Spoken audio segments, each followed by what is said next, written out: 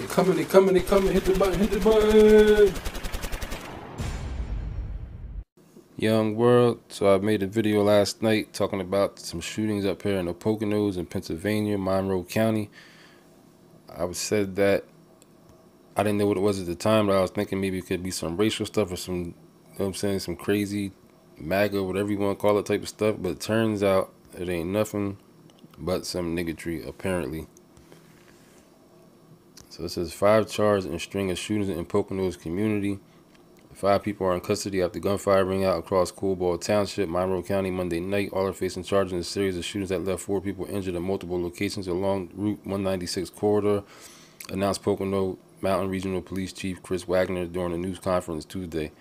What we learned is that this is really all started as mistaken identity, Wagner said.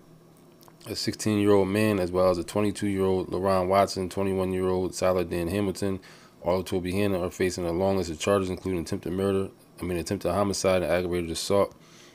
Two women, 20 year old Jalela Blondo and 19 year old Aja Watson, are also facing charges. Watson was charged with attempted homicide, aggravated assault, and hindering apprehension, while Blonde was discharged with hindering apprehension. We do not feel that the community is in any further danger, and we believe that we have all the suspects in custody at this time, Wagner said. Wagner said the first two victims found Monday evening were a case of mistaken identity a 47 year old woman was shot in the back, and a 19 year old man was shot in the arm at a home on Ledgewood Drive in a Pocono country place. They call that the PCP. It's a notorious place in the Poconos where it's like a bunch of nice houses in this community, but it's very deceiving. It's all ghetto ratchery that goes on inside the PCP, the Pocono Country Place. That's why houses be so cheap up there. You go buy a house without really knowing the neighborhood, go there at the wrong time, nobody's outside, think you got a good, nice little cheap house.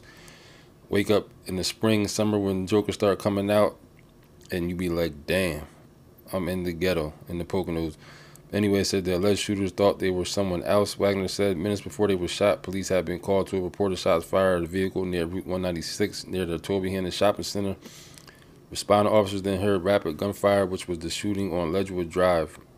Multiple calls for shootings around the township then started pouring in. Police found a 20-year-old man in a vehicle near the intersection of Kingsway and Route 196.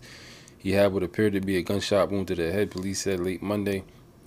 A fourth victim was found shortly after that when officers were called to a crash at Kingsway and Campbell Way. Another 20-year-old man found in the vehicle at the intersection had been shot in the leg at a home in the Pocono Farms East Development, police said. Wagner said Tuesday that the victim was in the wrong place at the wrong time. All four victims are in stable condition at the hospital, the chief said. So, yep, nothing but some niggatry going on. Some ratchery, ghetto hood stuff.